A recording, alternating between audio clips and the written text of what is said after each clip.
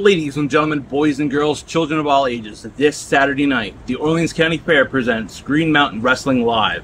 And it's on this night that after 20 years of traveling up and down the New England independent wrestling scene, that's a serial thriller himself, the ogre from Orleans, Henry Thomas, makes his Green Mountain Wrestling debut.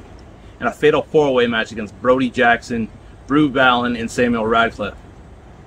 Now I know who all three of you are, and you know who I am. So I'm begging you, please, let's make a little mischief and mayhem up and down the midway. A little chaos at the carnival, if you will. And if any one of you is feeling lucky and you want to play games, just remember that the oversized, sadistic, stuffed animal swings back. And I guarantee that on that night, one of you will punch a one-way ticket on the murder ride. So boys, rest up. I'll see you Saturday. And just remember that serial thrillers never die.